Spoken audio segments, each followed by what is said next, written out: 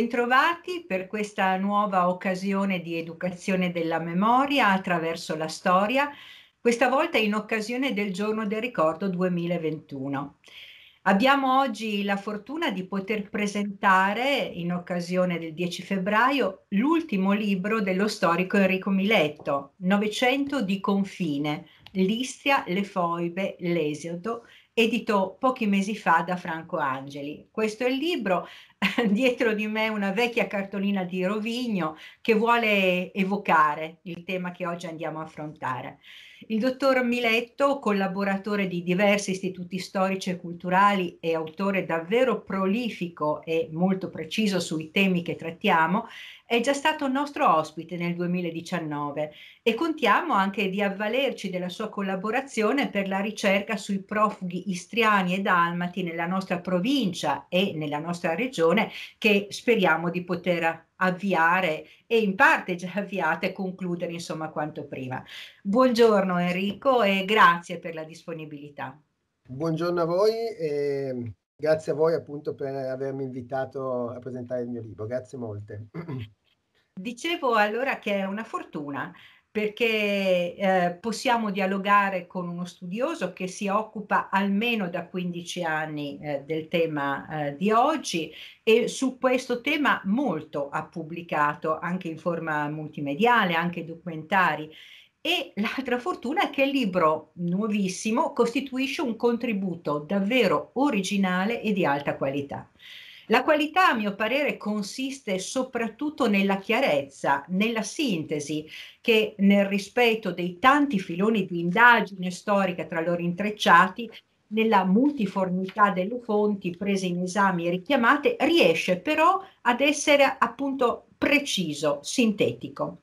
E l'originalità è rappresentata dal coraggio con cui vengono affrontate armi della storia alla mano, questioni che la pubblicistica, il dibattito pubblico, o forse per meglio dire la strumentalizzazione politica, hanno reso questioni difficili da dipanare, equivoche e spesso portando anche a esiti di vere e proprie forzature interpretative o addirittura di falsità, per usare un termine oggi molto di moda, fake news insomma.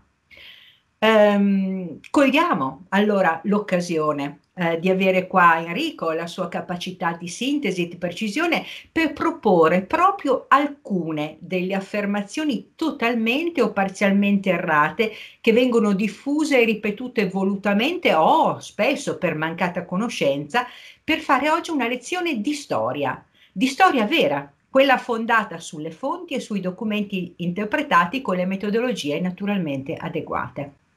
Ci stai Enrico? Possiamo procedere in questo modo sulla proposta di falsità o parziali che tu confuterai. Raggruppo per temi e incomincio senz'altro con uh, un po' di parole, il lessico, le parole, spesso usate in modo inappropriato e perciò storicamente sbagliato. Si dice che i termini di identità linguistico-culturale e di nazionalità coincidano. Mm, sempre sullo stesso tema. Italiani o italofoni prima dell'esodo erano maggioranza nella popolazione sia in Istria che in Dalmazia. Ancora sentiamo che Trieste e l'Istria sul confine orientale dovevano ritornare all'Italia in quanto terra irredente, cioè da sempre italiane, ma non ancora redente dall'occupazione straniera. Ci fai un po' di chiarezza su queste falsità? Sì, molto volentieri. Allora, intanto io comincerei con un passaggio, secondo me, fondamentale, e cioè che è quello eh, di sottolineare come ehm, i territori di cui parliamo oggi, ehm, all'interno dei territori di cui parliamo oggi, eh, vivessero eh, in uno spazio geografico piuttosto ridotto eh, ed entrando in stretto contatto tra di loro tre grandi mondi culturali. Mm? Quindi quello slavo, e cioè sloveno e croato, quello, quello, latino, quindi mi riferisco naturalmente a quello italiano, e eh, quello, quello, germanico, quindi dell'impero austro-ungarico. Eh, ecco, tu hai usato delle parole, no? Eh, nazionale, ecco, questa è una parola chiave fondamentale, perché?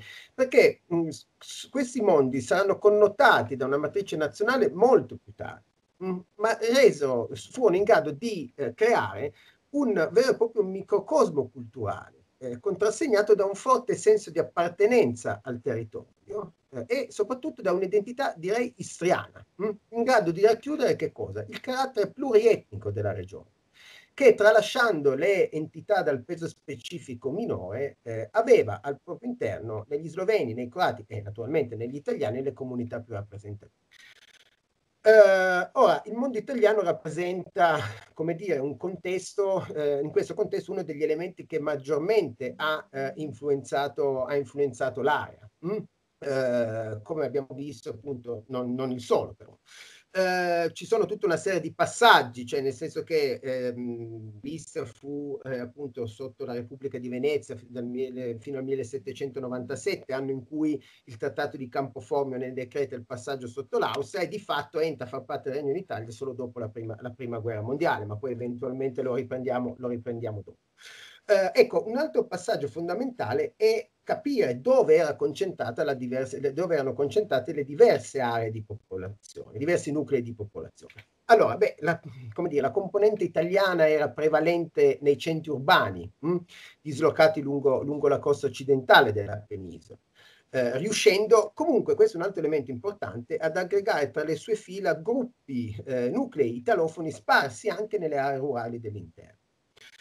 Eh, differente era la situazione in Dalmazia. Mm, perché? Perché in Dalmazia la popolazione eh, italiana era del tutto minoritaria e rappresentava, potremmo dire, un'elite culturale, politica ed economica che si concentrava soprattutto a Zara e nelle principali città costiere.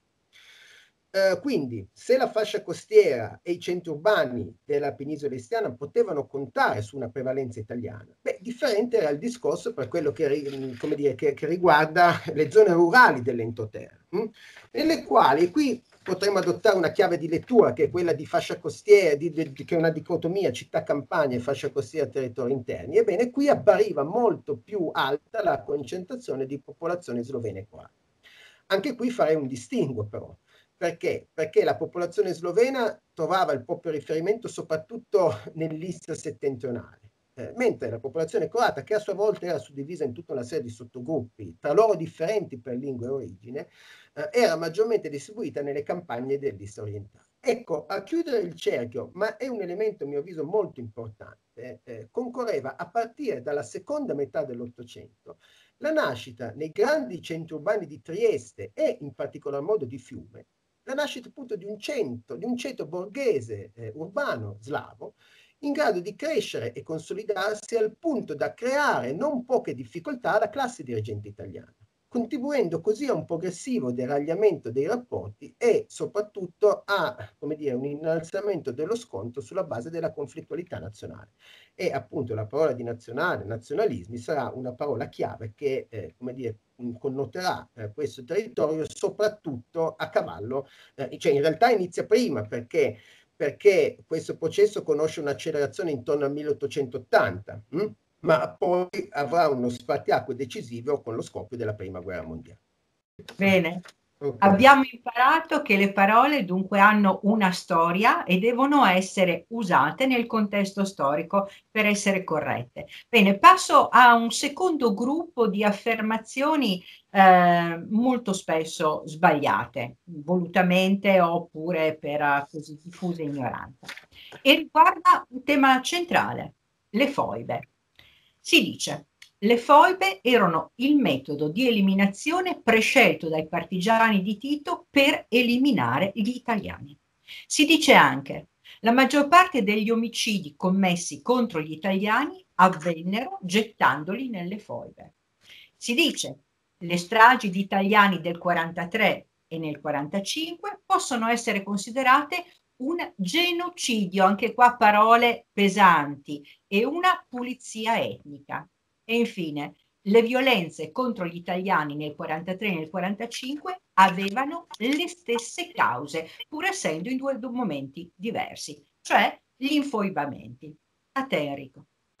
Allora, io farei una piccola premessa, eh, e cioè cosa sono le foibe? Allora, le foibe sono delle cavità naturali del suolo tipiche dei terreni carsici, eh, tradizionalmente utilizzate dalla popolazione slovena e croata dell'entoterra trestino e istriano per far sparire ciò che non si utilizzava più e di cui era, era difficile disfarsi. Mm?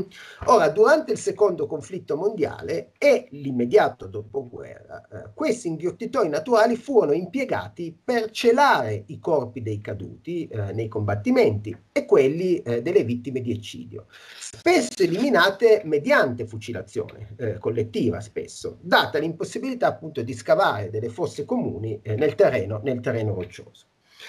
E dunque, eh, e qui mi riallaccio alla prima parte della tua domanda, cioè la foiba non costituiva perciò una modalità di esecuzione, ma un metodo, ehm, non costituiva una modalità di esecuzione, ma un metodo di eliminazione delle vittime, che eh, legate con il filo di ferro ai polsi venivano condotte sull'orlo della cavità e fucilate collettivamente. Quindi era un metodo di come dire, occultamento dei cadaveri e non della loro, della loro eliminazione. Quindi questo è il primo aspetto che bisogna, che bisogna, eh, che bisogna sottolineare. Eh, la seconda domanda, ehm, ecco, la maggior parte degli italiani eh, furono eliminati nelle foglie. E questa è un'altra domanda sul quale, sul quale occorre, occorre fare chiarezza. Perché?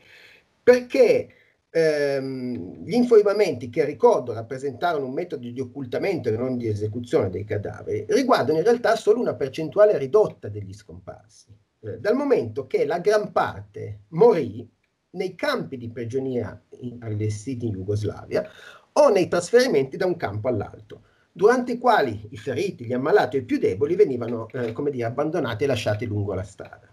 Ecco, all'insieme di queste vittime è convenzionalmente assegnato l'appellativo di infoibati, che è un termine di carattere, direi, generale, eh, utilizzato però spesso impropriamente. Perché? Perché generatore di fraintendimenti sulla quantificazione delle vittime e soprattutto non in grado di distinguere la modalità di uccisione e occultamento dei cadaveri dal ben più ampio fenomeno delle stragi. Ora, un altro aspetto eh, che si lega, eh, appunto, come hai detto tu, eh, alle foibe quello appunto se le foibe possano o meno essere eh, considerate un fenomeno di, eh, di pulizia etnica. Eh, beh, la risposta è no, mm, chiaramente. Eh, e questo perché? Allora, intanto farei una premessa. Eh, diciamo che noi abbiamo due, due tipi, cioè due stagioni di, di, di, di infoibamento, insomma, quella dell'autunno del 43 e quella della primavera del 45. Ora, e eh, poi magari ci torniamo. Come dire, è indubbio che a essere maggiormente colpiti furono gli, furono gli appartenenti alla popolazione italiana, ma non solo, non solo questi. E perché furono maggiormente colpiti gli italiani? E beh, fondamentalmente per due motivi di fondo. Il primo, eh, una sorta di resa dei conti come, come, conseguenza del fascismo, cioè si chiudono i conti aperti della guerra. Primo elemento. Il secondo è che eh, nella loro maggioranza eh, gli italiani erano profondamente contrari al nuovo potere politico jugoslavo. Ed è proprio in questo senso che è doveroso puntualizzare come appaia profondamente fuorviante ricondurre le uccisioni eh, a una pratica volta a eliminare gli italiani in quanto tali, pratica riassumibile nella consolidata eh, espressione utilizzata dalla pubblicistica in questi anni dell'essere uccisi solo perché italiani. Ed è un'affermazione, appunto, ripeto, che trova validità se intesa sul piano politico, cioè di eliminare chi, eh, quanti intendessero l'appartenenza all'Italia come realtà però sociale, culturale, statuale. Mm? Questo è un primo aspetto.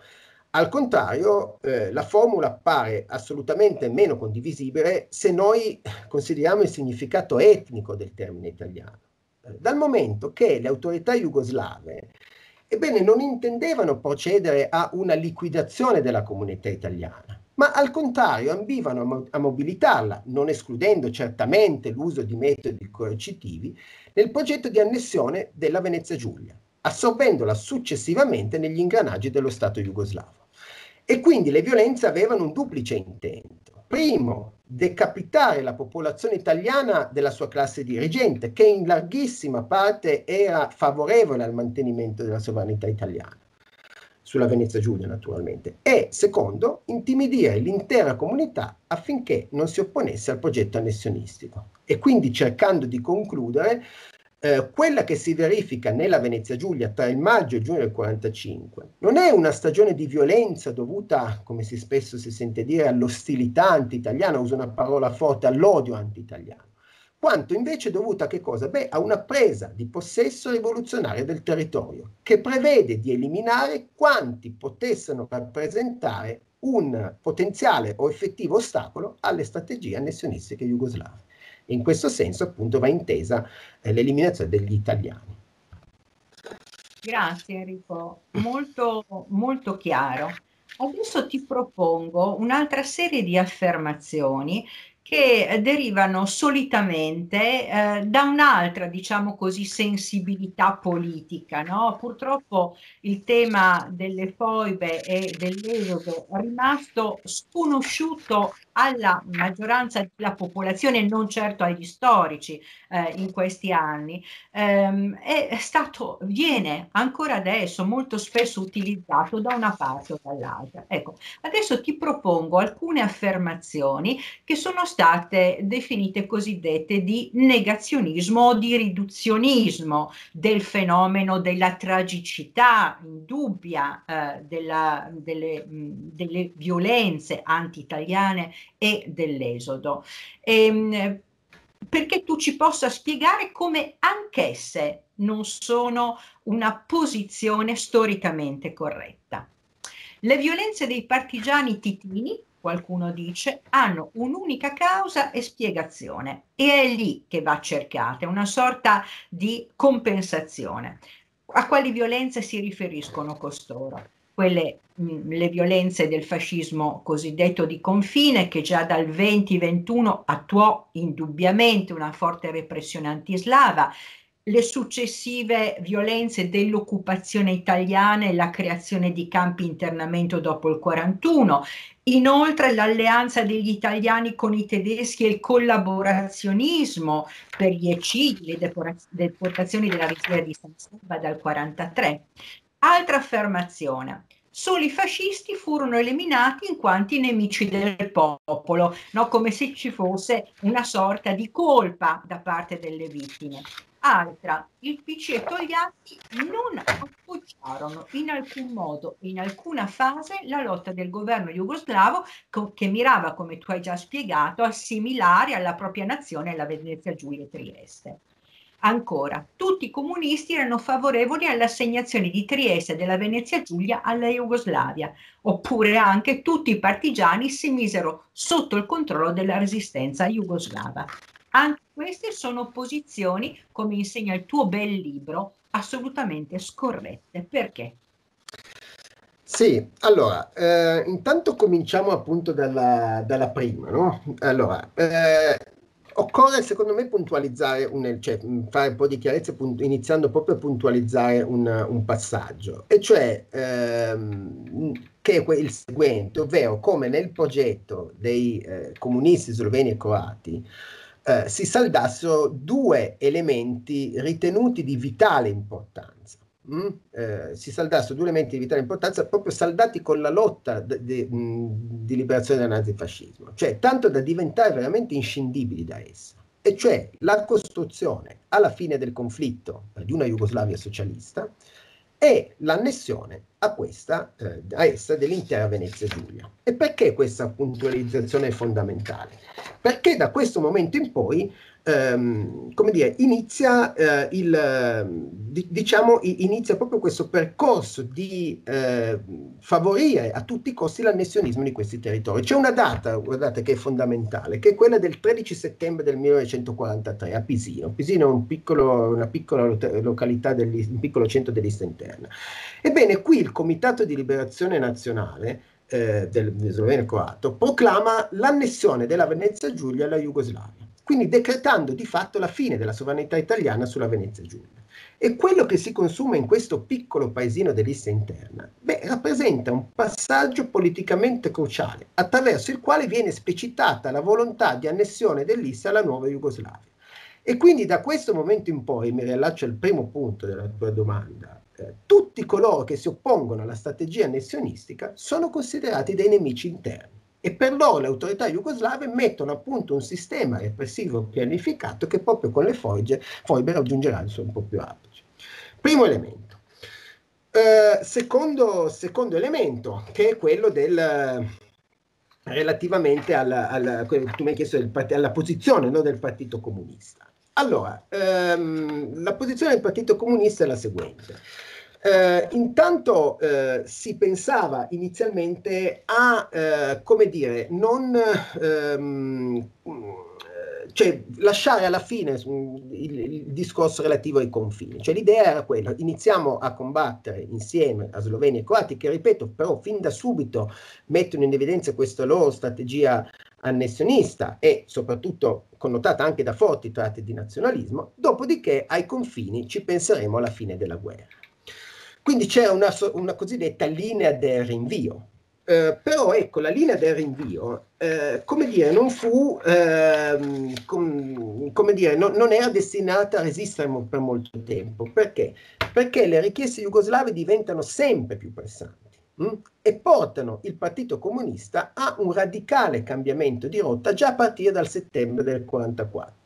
E cos'è che gioca un ruolo importante? Qui ci sono anche le connessioni con la politica internazionale. Gioca un ruolo importante nel mutamento eh, appunto del, del, partito, certamente l'appoggio dato Soviet- dall'Unione Sovietica a una soluzione che prospettava la possibilità di una Trieste jugoslava. Mm? E questo peraltro era uno scenario al quale guardava con favore anche buona parte del proletariato triestino e monfalconese, monfalconese era sede di importanti cantieri navali, che era ben disposto ad accettare la soluzione jugoslava. Ecco, a fronte di questa situazione arriviamo nell'ottobre del 1944, quando Togliatti, Palmiro Togliatti, il segretario del Partito Comunista, emana una direttiva che ordina alle unità partigiane comuniste italiane impegnate a combattere nel territorio, bene, l'ingresso all'interno del nono corpus sloveno. Mm? quindi controllato dalla, dalla, dai partigiani di Tito, specificando però che il PC eh, ne avrebbe mantenuto la guida politica. Ecco, Togliatti del contempo, e questo è un altro elemento importante della posizione eh, del Partito Comunista, invitava i comunisti a, in un certo senso, favorire eh, l'occupazione eh, della regione da parte dei partigiani titini, piuttosto che dell'esercito alleato. E quindi in questa prospettiva cosa faceva? Sollecitava eh, le strutture locali del partito eh, a collaborare con le forze eh, jugoslave nell'organizzazione di un potere popolare eh, nelle zone liberate e di un contropotere in quelle ancora poste sotto l'occupazione tedesca mentre invece sulla definizione dei confini eh, Togliatti non indicava una soluzione immediata, ma auspicava un, ritorno, un confronto tra il partito comunista jugoslavo e il PC alla fine della guerra, anche se facendo così di fatto avvallava molte delle richieste, molte delle richieste jugoslave. Se tutti i comunisti italiani, eh, questa è un'altra domanda, se tutti i comunisti italiani fossero favorevoli, eh, diciamo che uno spartiacque in questo senso fu nel 48. Mm, perché? Perché nel 48 noi abbiamo la scissione, cioè l'espulsione della Jugoslavia dal, dal Cominform e quindi a questo punto mutano i rapporti tra i vari partiti comunisti e il Partito Comunista Jugoslavo. Comunque tendenzialmente buona parte del, del proletariato triestino e monfalconese era assolutamente a favore della soluzione, della soluzione jugoslava. L'altra domanda era, se non sbaglio, se non mi sono appuntato male, ehm, Ecco, tutti, tutti quelli che furono uccisi furono tutti fascisti. Eh, no, la risposta è assolutamente no. Eh, ecco, su questo partiamo ad esempio da, eh, da un'affermazione di Cardeli, mh, mm, Edward Cardeli, braccio destro di Tito, che eh, appunto dopo la, la, cosiddetta corsa per Trieste, insomma quando appunto Trieste viene occupata dalle forze, da, dalle forze partigiane titine, siamo nel primo maggio 45, emana la direttiva, una direttiva che dice epurare subito, ma non sulla base della nazionalità, bensì su quella del fascismo. Ebbene, eh, le parole del dirigente sloveno vanno in questo senso codificate, cioè non tanto per quello che concerne il termine epurazione, epurazione eh, insomma corrisponde all'eliminazione vera e propria, eh, quanto piuttosto sul concetto di fascismo, che va utilizzato in senso molto ampio, tale da favorire un criterio molto spesso basato sulla responsabilità collettiva piuttosto che su quella individuale. Quindi come dire, appare quasi ovvio che essere arrestati, arrestati ed eliminati furono inizialmente elementi collusi con il nazifascismo. Però attenzione, a essere arrestati e a scomparire furono anche gli appartenenti, ad esempio, ai carabinieri e alla Guardia di Finanza, che non parteciparono generalmente all'attività antipartigiana, anzi, al contrario, a Trieste e a Gorizia, come dire, collaborarono attivamente con la resistenza. Eh, il loro arresto, la loro prigionia e la loro eliminazione in certi casi va dunque intesa in un'ottica, come dire, puramente eh, politica, tesa ad allontanare da Trieste e dalla Venezia Giulia possibili eh, figure in grado in un certo senso di eh, costituire sacche di contropotere eh, che mh, mm, potevano essere non controllabili dalle autorità jugoslave. E nello stesso tempo, devo dire, eh, si svolgono anche, eh, come dire, nello, c'è, c'è, c'è, lo stesso discorso, mh, mm, cioè le autorità jugoslave operano nella stessa direzione anche nei confronti del Comitato di Liberazione Nazionale Triestino. Questo è un altro elemento fondamentale, che nel frattempo entra in clandestinità i cui quadri dirigenziali si rifiutano di collaborare e di cedere il passo e riconoscere il potere jugoslavo, furono quindi considerati avversari e quindi nei loro confronti si abbatte un'ondata persecutoria che porta all'arresto, alla deportazione Jugoslavia e in alcuni casi all'eliminazione di alcune delle figure, delle figure più in vista. Quindi direi che no, non furono assolutamente uccisi, sono eliminati solo i fascisti. Bene, hai risposto molto bene. Um, allora, abbiamo capito che la motivazione essenziale delle violenze eh, del 43, ma in particolare quelle del 45, hanno come eh, obiettivo quello di eh, creare una nazione socialista jugoslava che comprendesse anche la Venezia Giulia. Questo non vuol dire naturalmente che dalla 20 diciamo fino al 45 no? con le pause del, del 43 le popolazioni slave lì residenti non subissero violenze tremende da parte dei fascisti e dei nazifascisti poi. Però le, i due fenomeni non sono, eh, diciamo, equiparabili in termini, mi pare, no, di causalità storica, quanto piuttosto le violenze perpetrate dai fascisti, e non ci riferiamo soltanto, come tu ben ci racconti, alle uccisioni, ma anche alla snazionalizzazione, alla slavizzazione eh, negata, le scuole, i nomi, la toponomastica, l'espulsione eh, dall'amministrazione, il simbolo del Narod di Dom, diciamo così, e poi addirittura la collaborazione con i tedeschi per la deportazione della dissidenza politica e anche eh, degli ebrei, costituiscono, come dire, un humus di conflittualità, di contrapposizione che sicuramente presso la popolazione slava avrà favorito eh, eh, i disegni del governo jugoslavo. Possiamo sintetizzare in questo modo, Enrico, per rimanere ancora su questo punto prima di passare all'altro? Uh, sì, cioè, mh, hai fatto già tu un'ottima sintesi, direi, cioè, nel senso che eh, noi non possiamo, cioè, non dobbiamo incorrere in questo ore di causa ed effetto, ecco, questo è, questo è il discorso, perché eh, è indubbio eh, assolutamente che da parte del cosiddetto fascismo di frontiera ci fu eh, un'opera di ehm, per usare insomma i termini dello stesso regime eh, di bonifica nazionale, mh, quindi vuol dire di italianizzazione forzata che abbraccia l'intero eh, come dire, l'intero, um, l'intera gamma della popolazione slovena e croata, cioè nel senso che è al centro appunto di fenomeni di, veramente di eliminazione dell'identità culturale, mh, mm, quindi mh, mm, dal, dal, dall'abolizione della lingua, dell'uso pubblico delle lingue, al cambio dei cognomi, alla, alla, alla chiusura di scuole, e cose che insomma sono ampiamente, ampiamente già, state, già state citate. E dall'altra parte, ecco, noi non, dobbiamo però tenere conto come questo rapporto di causa ed effetto non vada assolutamente eh, inteso in questa direzione, perché se è vero che, ad esempio, soprattutto per quello che concerne l'autunno del 43, quindi la prima stagione di infoibamenti, eh, c'è una sorta di, mh, mm, come dire, reazione no? al, a, a, al, al, al, ventennio, eh, però perché io ho insistito sul trattato, sul, sul, proclama di Pisino? Proprio per questo motivo qui, cioè perché alla, fi, cioè alla base di tutto sta la volontà di annettere eh, queste regioni alla Jugoslavia.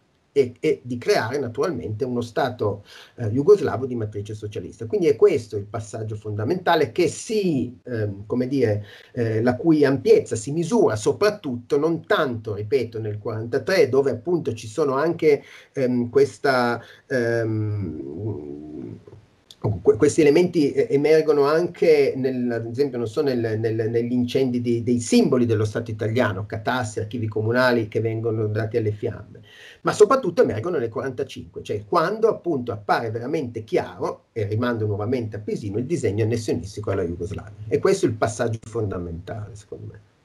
Grazie, grazie per questa ulteriore precisazione. Um, passerei adesso a un altro gruppo di domande che riguarda sostanzialmente il secondo dopoguerra e l'esodo, ma uh, richiamerei um, i nostri ascoltatori alla lettura attenta del tuo libro, perché tu um, è un libro molto snello, 200 pagine, eh, metà del quale mh, eh, sono dedicate a, ad affrontare i temi che abbiamo già brevemente visto, ma l'altra metà, e questa mi pare una parte molto interessante perché coinvolge tutti eh, gli italiani, è dedicata diciamo all'esodo. E tu nomini così capitoli esodo il lungo dopoguerra europeo, quindi in questa prospettiva europea, partenze, Zara, Fiume, Pola, Monfalcone, l'esodo della zona B del territorio libero di Trieste, restare la popolazione italiana rimasta in Istria. E qui documenti le tue ricerche specifiche anche di natura locale. Altro capitolo mi pare interessantissimo è questo che noi speriamo di poter approfondire in Emilia Romagna a Piacenza, lo chiami arrivi, la distribuzione dei profughi, la macchina dell'assistenza, assistenza e provvedimenti legislativi, eccetera. E infine, ultimi, eh, ultima, penso la tua ultima ricerca, anche i profughi della zona B del territorio libero di Trieste. Allora, questo è chiaramente eh, un tema, quello dell'esodo del dopoguerra, che ha coinvolto, eh, volenti o nolenti, tutti gli italiani e in qualche modo ci vede responsabili e io credo che giustifichi anche ehm, e crei il giorno del ricordo dal 2004 come occasione di conoscenza storica, una conoscenza che in passato è mancata presso la maggioranza della popolazione. E anche qua allora ti propongo alcune affermazioni almeno parzialmente o eh, interamente errate. Il governo italiano poteva avere buon gioco ottenere l'Istria nei trattati di pace dell'immediato dopoguerra. Ancora, vi furono precise direttive scritte per espellere dal territorio jugoslavo gli italiani. Però si dice anche il contrario. Non possiamo documentare alcun tipo di pressione sugli italiani perché lasciassero i territori di Istria e Dalmazia su cui vivevano da generazioni. Si dice, gli esuli furono ben accolti nella cosiddetta madre patria. E infine, violenze e spostamenti massicci di popolazione nel secondo dopoguerra interessarono prevalentemente il confine orientale italiano, furono pressoché sconosciuti in altre parti d'Europa. In ultimo, furono solo i comunisti responsabili della dimenticanza, l'oblio, per interesse politico naturalmente, in cui cade nel dopoguerra il tema delle violenze al confine orientale, e dell'esodo presso la pubblicistica, le scuole, la storia divulgata. Insomma, colpa della cultura di sinistra, se ci siamo dimenticati di eh, quasi 300.000 eh, profughi, es- esodanti meglio. Allora, eh, prima domanda, l'Italia poteva avere buon gioco? No, devo dire di no, nel senso noi dobbiamo fare eh, un passo indietro eh, al 29 luglio del 46, no? quando si apre a Parigi la conferenza di pace. Chi è che rappresentava l'Italia? L'Italia era rappresentata da Alcide De Gasperi, mh, mm, presidente del Consiglio che all'epoca ave- cioè che aveva anche la delega al Ministero degli Affari Esteri. Ebbene, De Gasperi eh, è chiamato fin da subito a portare a termine un'impresa che potremmo definire ai limiti dell'impossibile. Perché? Perché stretta tra le richieste di annessione, eh, avanzate l'abbiamo visto alla Jugoslavia di Tito, eh, sull'intera Venezia Giulia, eh, dalla necessità anglo-americana, altro elemento di non poco conto, di mantenere il controllo su Trieste per farne un baluardo, tra virgolette, da, eh, come dire, per contenere no, l'avanzata comunista, beh, di fatto la diplomazia italiana si trova eh, in una condizione di debolezza veramente estrema eh, tale da non, poter, eh, da non potersi opporre con argomenti con, convincenti, non potersi opporre che cosa? decisioni che in gran parte erano già state prese dalle potenze vincitrici, cioè noi dobbiamo ricordarci che l'Italia stato, era un paese sconfitto hm? e come tale è stato, è stato trattato e quindi pagava a Parigi che cosa? Beh, le conseguenze di una guerra che Mussolini aveva fortemente voluto. Quindi questo è il primo, è il primo passaggio su cui, su cui riflettere.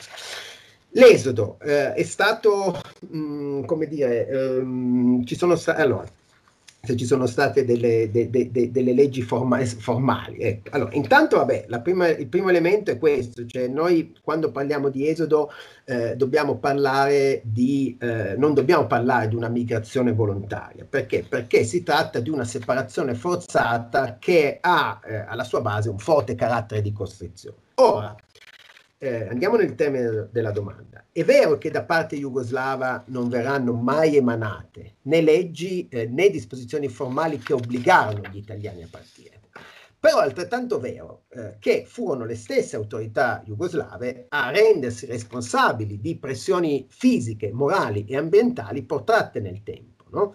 e che furono tali da determinare per la componente italiana una sorta di vera e propria passatemi il termine, invivibilità, mh? Hm? di fronte alla quale la strada dell'abbandono risultava essere quasi come l'unica, l'unica, l'unica via percorribile.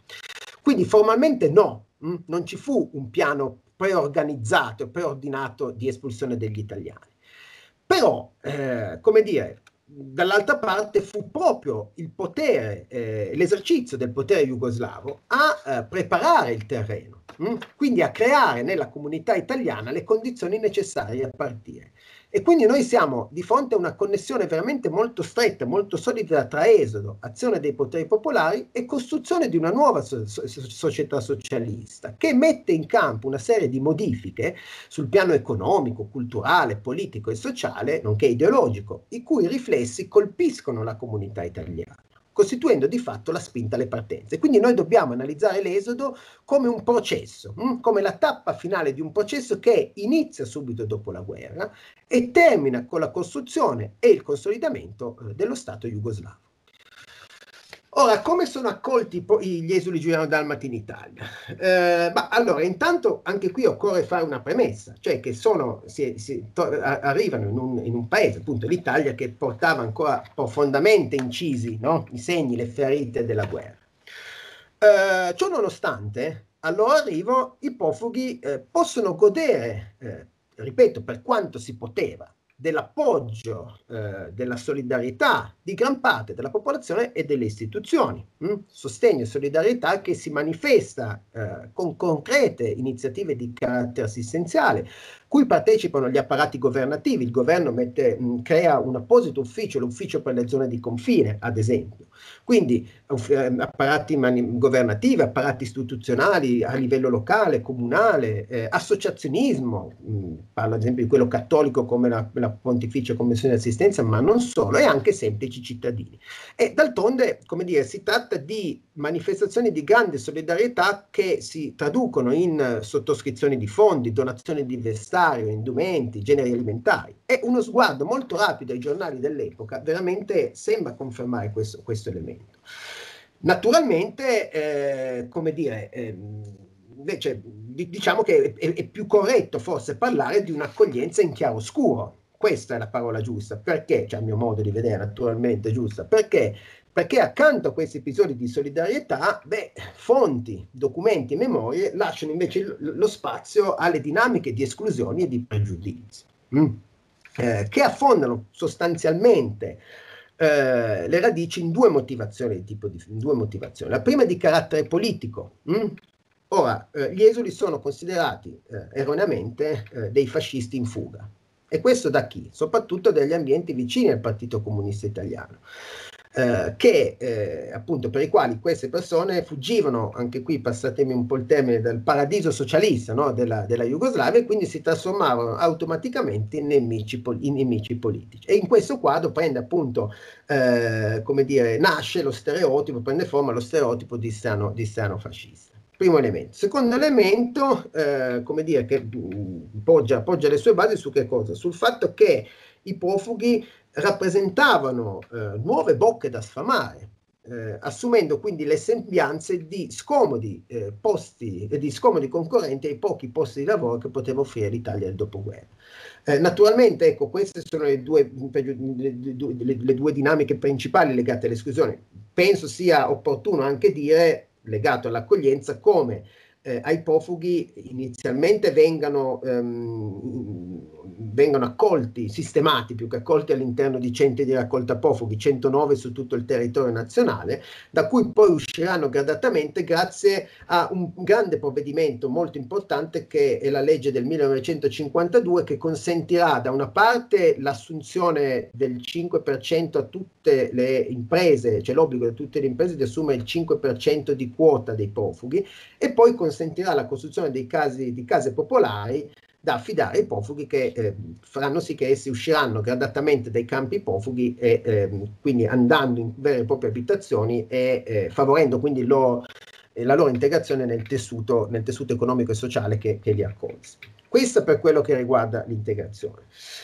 Altre due domande, e qui forse sforiamo un po' con i tempi, mi chiedo scusa, però, eh, come dire, eh, diciamo ecco che intanto l'esodo non fu assolutamente solo un fenomeno eh, italiano, ma diciamo che l'esodo giuliano-dalmata è il tassello di un mosaico molto più ampio, molto più complesso, che è quello degli spostamenti forzati di popolazione, che nel dopoguerra, lungo una linea, diciamo, immaginaria tracciata da Danzica a Trieste, dal Baltico all'Adriatico, eh, coinvolgono come conseguenza diretta della guerra e della contrastata ridefinizione dei confini milioni e milioni di profughi, soprattutto dall'Europa centro, orientale E quindi questo è un elemento fondamentale perché? Perché quindi la prospettiva europea rappresenta un punto di vista molto importante, direi veramente fondamentale, quando si guarda all'esodo. Oblio, colpa del Partito Comunista. Eh, non solo, mi viene da dire, nel senso che, eh, come dire, la, di, la dimenticanza ha vari, eh, dire, ha vari, mh, varie ragioni. Mm? Allora, intanto una ragione, non dobbiamo, come dire, di politica internazionale. Ora, siamo nello scenario della guerra fredda. Eh, nel 48 Tito e la Jugoslavia vengono espulsi dal Cominform e eh, si, eh, come dire, tramutano, eh, si, si trasformano au- automaticamente eh, in un interlocutore privilegiato no? per, per l'Occidente. E quindi questo conta moltissimo sul fatto che eh, questo, questo, episodio venga in un certo senso lasciato, lasciato alle spalle. Per quello che concerne la situazione italiana, beh, diciamo che ci sono due elementi che contribuiscono alla rimozione. Da una parte abbiamo appunto il Partito Comunista, mh, hm, per il quale parlare della questione giuliana avrebbe significato rendere esplicita la posizione di Togliatti, mh, hm, quindi portatore di eh, una piena collaborazione con l'esercito jugoslavo e di fatto sull'avallo delle richieste territoriali jugoslave. Eh, quindi l'interesse, se non è quella di rimuovere del tutto la questione, è perlomeno di non parlarne. Però dall'altra parte, come dire, il disinteresse nei confronti della questione giuliana avvolge anche gli ambienti dell'altro grande attore politico, cioè la democrazia cristiana, l'altro grande soggetto che, che, che calca la scena politica italiana di allora. Eh, questo atteggiamento trova una spiegazione in un motivo di fondo, e cioè per quanto avvenuto al tavolo delle trattative a Parigi nel 1947, quando la firma del trattato di pace sancisce la debolezza italiana in campo internazionale non solo di fronte alle richieste jugoslave, ma anche nei confronti degli anglo-americani.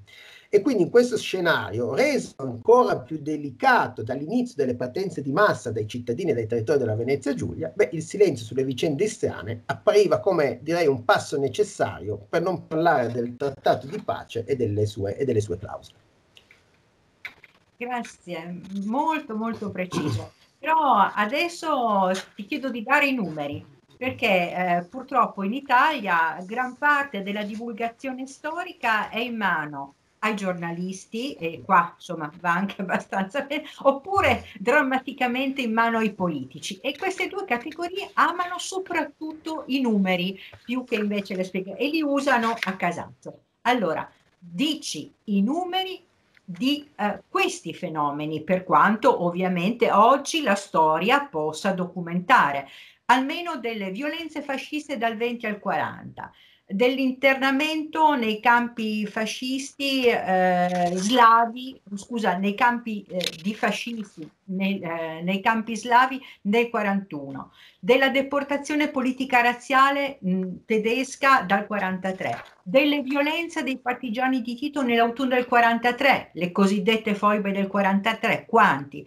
Delle violenze del governo jugoslavo della primavera del 45, però io qua voglio sapere i numeri non soltanto delle vittime italiane, ma anche delle altre vittime che ci furono, Cetnici, Ustascia, eh, i domobranci, tu eh, citi, le, i numeri dei deportati nei campi di internamento jugoslavi, i numeri dell'esodo degli strani e dalmati in Italia, ma anche negli altri paesi, non vennero solo d'Italia, i numeri almeno complessivi degli spostamenti di popolazione in quello che ci hai parlato in generale nell'Europa e in quella faglia, no, diciamo, dell'Europa centrale. Sì, allora, eh, cominciamo. Mh, mm, allora, uno degli aspetti eh, legati, no, tu ne hai parlato, all'azione eh, repressiva dell'esercito italiano in Jugoslavia, quindi abbiamo, è, è, quella legata all'internamento dei civili, Questa è la, ecco, che è una pratica largamente utilizzata eh, al punto da coinvolgere circa 100.000 civili jugoslavi, in gran parte sloveni, croati e montenegrini, eh, 25.000 dei quali provenienti dalla sola provincia di Lubiana, annessa come sappiamo nel 1941. Ecco, quindi abbiamo parlato di internamento, il che vuol dire campi. Hm? Allora, eh, nel territorio jugoslavo furono attivi mh, campi di internamento. La principale struttura fu quella di Arbe, in Dalmazia, eh, dove i, suoi indici di, i cui indici di mortalità superarono, seppure per un breve periodo, quelli registrati nei lager nazisti di Nosterminio. Eh, privo direi di qualsiasi struttura fondamentale, eh, il campo si dotò di baracche soltanto nella primavera del 43, quindi fino ad allora i prigionieri erano costretti a dormire ammassati in vecchie tende dell'esercito. Ora si calcola che morirono circa 1500 persone ad Arbe su un totale di quasi 30.000 arrivati. Mm? L'altro, l'altro campo fu, eh, fu Gonas, dove anche in, Gonas, scusate, in Friuli, dove anche in questo caso, come dire, eh, poi possiamo provare, possiamo provare a, dare, a, dare, dei numeri. Però ecco, un altro elemento importante ehm, eh, relativamente al passaggio, no, eh, del, de, all'azione delle, delle truppe, truppe, italiane eh, nel, in, in, Jugoslavia, beh, credo che uno degli aspetti, uno dei, degli episodi più drammatici sia il cosiddetto massacro di Podum, mh, hm, preso d'assalto dai soldati italiani che, coadiuvati da camicie nere e carabinieri, uccisero circa 90 persone, 91 per l'esattezza, deportando ad Arbi, quasi tutti i maschi, insomma, i maschi dai 16 ai 69 anni, deportando ad Arbi il resto della popolazione. Mm. Parlavo prima di Gonars, eh, considerato come il più grande eh, complesso di internamento per civili eh, jugoslavi sul territorio italiano. Eh, direi che eh, in questo caso eh, diciamo vi furono internate tra le 4 e le 6 mila persone e poco meno di 500 di esse vi trovarono, vi trovarono la morte. Questo è il primo aspetto. mi hai chiesto poi appunto i numeri della deportazione. Allora, ehm, sappiamo come a Trieste fosse attiva la, la resea di San Saba, no? tanto per intenderci. Ecco, si calcola che ehm, dal, dalla sua attivazione, eh, diciamo, ehm, fino alla sua, eh, insomma, fino, fino alla, alla, fine dell'aprile, del, fino all'aprile del 45, vengano eliminate tra le 4 e le 5.000 persone, in buona parte antifascisti, partigiani italiani, sloveni e croati. Poco meno di un centinaio di ebrei uccisi, mentre quelli che transitano per la risiera sono 1450, 700 dei quali vennero deportati. Ora, altri, le altre cifre che, che, mi hai chiesto di lisciare, poi eh, ne, ne, parliamo, cominciamo dalle violenze, dalle violenze titine, quindi le, le cosiddette foibe, no? tanto per intenderci. Beh, allora, intanto, appunto, l'abbiamo già detto, come abbiamo due tipi, cioè due, due ondate di infoibamenti. Eh, la prima eh, diciamo, eh, si svolge appunto, si verifica nell'autunno del 43 e eh, provoca un, insomma, le stime più puntuali. Naturalmente, ecco qui occorre precisare come i numeri si tratta di stime puntuali, ma non, come dire, eh, esatte, esatte. Ecco, eh, diciamo, tra, muoiono nell'autunno del 43 tra le 500 e le 700 persone e coinvolgono soprattutto l'area, l'area, l'area istriana. Eh, nel 1945 eh, le vittime nell'area, nell'area triestina, goriziana, a cui si aggiunge in certo senso anche un po' la provincia di Udine, furono circa 2600. Mm? Per completezza, questi vanno poi aggiunti chi? I dati relativi a Fiume, dove abbiamo circa 500 vittime, all'Istria, con particolare riguardo alla provincia di Pola, dove secondo fonti del governo militare alleato muoiono, gli scomparsi sono circa 827 all'incirca, e inoltre, come hanno rilevato ricerche più recenti, ehm, mancano appunto da questo computo i militari della Repubblica Sociale, spesso non inseriti, non distinti no, dagli altri prigionieri di guerra. Eh, quindi partendo da questi dati si può stimare in una forbice compresa tra le 3 e le 4 mila persone il numero complessivo delle vittime perite nella primavera del 45. L'altro grande aspetto riguarda delle cifre riguarda l'esodo. Mm? Eh, spesso appunto lo hai ricordato tu sentiamo eh, appunto pronunciare la, la, cifra di 350.000 no allora questa cifra è sbagliata nel senso che eh, le, le, anche qui le stime più puntuali parlano di circa 300.000 partenze eh, in un processo di lungo periodo quindi tra il 44 e il 56 da tutti i territori di questi 300.000 la componente italiana è rappresentata da circa 250.000 persone, tant'è che anche una nota della Presidenza del Consiglio del 1955 parla di, mille, di 255.000 persone. Quindi abbiamo 250.000 appartenenti alla comunità italiana, ai quali si aggiungono, e questo è un altro elemento interessante, sloveni e croati di origine istriana, circa 34.000 sloveni e 12.000 croati. Quindi queste sono tendenzialmente, tendenzialmente le cifre. Uh, Europa, eh, l'Europa, come dire, eh, alla fine gli spostamenti forzati di popolazione in Europa, i numeri sono molto, molto più elevati. Eh, noi abbiamo, diciamo, se, se, ci limitiamo soltanto all'area dell'Europa orientale, quella che vede l'espulsione dei, eh, dei tedeschi dalla, dalla, dalla, Polonia, dalla Cecoslovacchia, dall'Ungheria e dalla Romania, ma soprattutto Polonia e Cecoslovacchia, noi abbiamo una forbice di circa 12 milioni, 12 milioni di persone all'interno di queste, di queste espulsioni abbiamo anche tutta una serie di violenze del primo periodo cosiddetto delle espulsioni selvagge, perché poi il secondo periodo saranno espulsioni più normate grazie anche alla conferenza, alla conferenza di Potsdam, abbiamo circa un milione di vittime. Grazie, hai dato i numeri, però con molta precisione, niente affatto eh, in modo eh, così approssimativo. E mh, mm, ci serve comunque, ci serve per, uh, per, mettere anche a fuoco quando ascoltiamo determinate posizioni. Il tuo libro si avvale eh, ovviamente eh, di riferimenti molto puntuali alle fonti, però eh, recupera diciamo anche la memorialistica inserendola in contesto, eh, ne valorizza il, il, ruolo e accanto a questa io penso che abbia anche per te un ruolo importante la letteratura, eh, perché la letteratura è eh, insieme autobiografia e quindi ha a che fare con la memorialistica, ma consente anche una rielaborazione di carattere sia storico eh, sia eh, letterario, quindi artistico. Ecco, Accanto allora a questo libro eh, che io invito eh, tutti i nostri ascoltatori a leggere eh, perché lo si può fare senza eh, troppo insomma dedicare tempo eccessivo, eh, forse tu potresti suggerirci anche qualcosa di letterario eh, da poter leggere per scaldare un po' il tema, perché stiamo parlando di violenze, stiamo parlando di violenze che hanno procurato un grande dolore e, e, di conseguenza è importante mantenere viva questa, um, uh, questa anche umanità. Ehm, mentre invece, però, eh, sarei contenta se tu mi smentissi. Mi pare eh, che eh, anche dall'analisi che tu fai nel tuo libro non siano usciti ehm, prodotti di fiction, ehm, eh, documentari, se, forse sì, ma di fiction che possano essere eh, visti con qualche profitto per la conoscenza storica.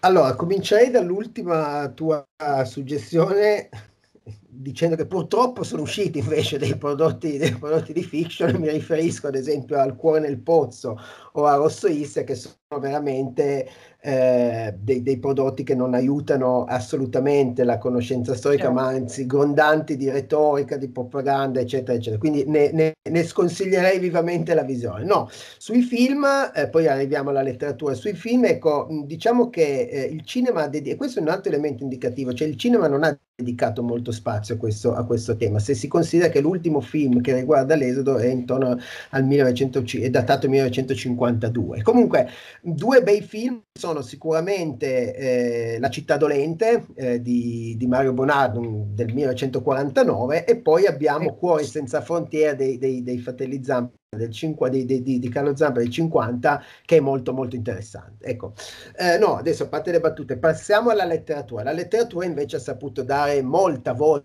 affrontare in maniera molto sensibile anche no? queste, queste, pagine di storia. E qui, eh, come dire, è anche molto difficile riuscire a eh, indicare un solo volume. Quindi, se voi siete d'accordo, io proporrei alcuni, alcune, una carrellata fatta proprio per Ehm, come dire, proprio per periodi.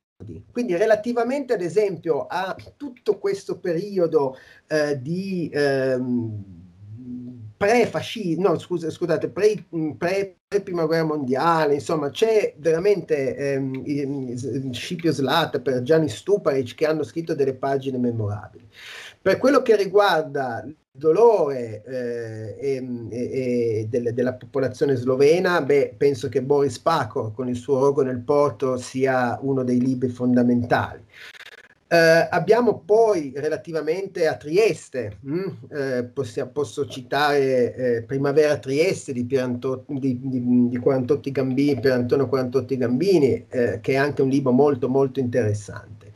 E poi arriviamo all'esodo ehm, attraverso le sue differenti, differenti declinazioni, perché eh, abbiamo Esilio di Bettiza che parla appunto dell'esodo della Dalmazia e ci dà un quadro della Dalmazia in generale molto interessante.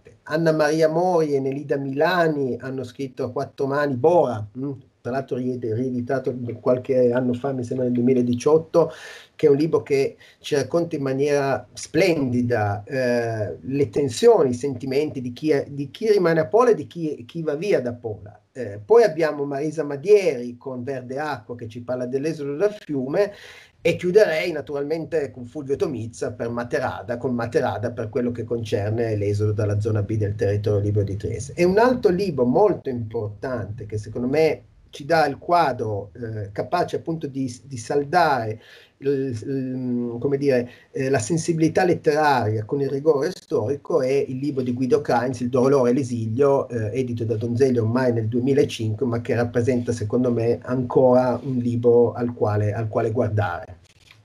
Ti ringrazio, è un amico anche del nostro istituto, Kreinz. Ehm, davvero io penso che abbiamo fatto un buon servizio ai cittadini, alla scuola e lo fa soprattutto questo tuo libro, Novecento di confine, l'Istria, le foibe, l'esodo, Franco Angeli 2020. E, ehm, cogliamo anche quest'anno perciò l'occasione di questa commemorazione, eh, il giorno del ricordo, perché sia occasione di storia vera, di conoscenza storica e di educazione della memoria, come l'abbiamo chiamata nel nostro progetto di educazione civica. Grazie Miletto e tanti auguri e contiamo di vederci presto per a, a, a continuare la nostra ricerca sul territorio emiliano-romagnolo degli Esli. Grazie, mm, anch'io insomma vi ringrazio molto dell'opportunità e vi auguro insomma buona, buona giornata e insomma grazie molte.